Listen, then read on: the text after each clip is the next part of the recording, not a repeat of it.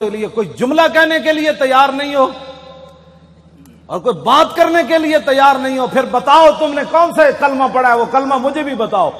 جس کلمے کے اندر حضور ناموس رسالت بھی نہ ہو، ختم نبوت بھی نہ ہو، اور ایسے لوگ دین کی ترجمانی بھی اندر جا کر اسمبلیوں میں نہ کر سکیں، اور ایسے لوگ ممبروں پر بیٹھیں تو نو دولتیے، جن کے باپ باپ کے پاس کھانے کے لیے روٹی نہیں تھی، پاکستان بننے کے بعد امیر ہو گئے وہ مولویوں کو مسجد سے نکال رہے ہیں کہ مولانا، آپ نے تاریخ لبیک یا رسول اللہ کا ساتھ دیا۔ میں کہا، بچے ہاں مولانا نے لبیک کا ساتھ دیا۔ تو نے جن کا ساتھ دیا، تجھے مبارک ہو۔ مولانا تو چوبیس گھنٹے یہی کہتے رہنا حضور، میں حاضر۔ تو بتا، تو کس کے لیے حاضر ہے؟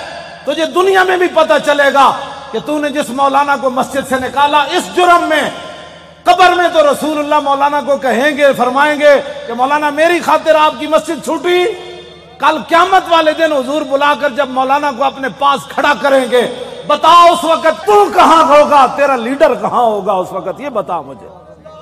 تجھے دین بھی بارے میں نہیں ہے، عشق لبیک کا نعرہ حضور سیاسی بن گیا۔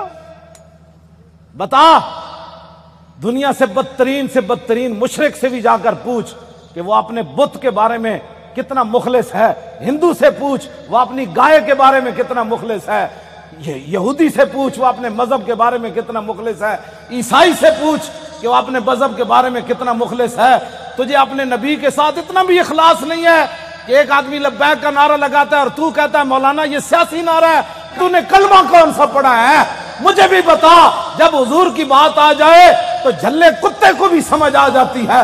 جھلا کتا بھی کہتا ہے کہ اگرچہ تو نے اپنی جان بچانے کے لیے نبی کا نام استعمال کیا، لیکن کیت نام تو چونکہ تو نے حضور کا لے لیا، تو اس کے بعد میں تجھے کاٹتا نہیں ہوں، میں جھلا ضرور ہوں۔ لیکن جس نبی کا تو نے نام لیا، میں اس نبی کو پہچانتا ہوں۔ جھلے، توجہ، جھلے جھلے کتے جتنی بھی بندے کے اندر غیرت نہ ہو۔ اب جب کتے، وہ کافر نے کہا تھا کہ انی فی ذمت محمد جھلا کتا اس کو کاٹنے لگا تو اس نے کہا کہ میں تجھے حضور کا واسطہ دیتا ہوں۔ اب تو نے مجھے کاٹنا ہے۔ تو کتے نے آگے سے یہ نہیں کہا کہ تو نبی کا نام، تو تو کافر ہے۔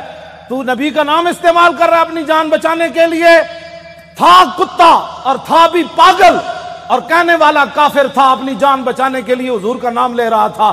لیکن پاگل کتے نے جب حضور کا نام سنا فول القلب یادو۔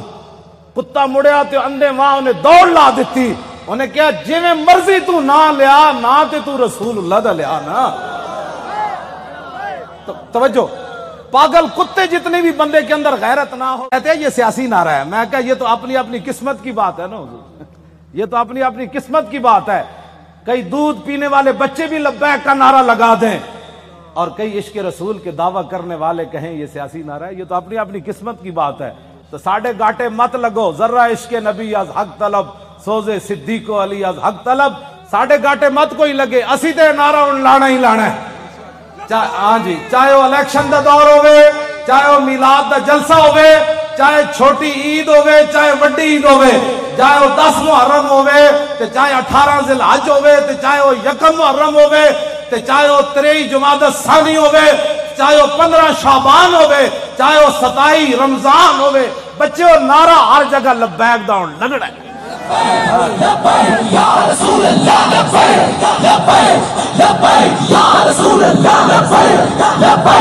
لبیک یا رسول اللہ لبیک